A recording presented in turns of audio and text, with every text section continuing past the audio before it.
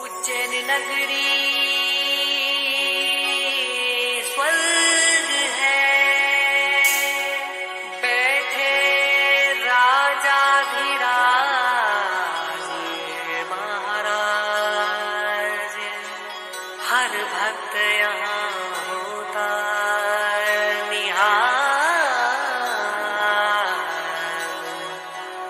यहाँ कण कण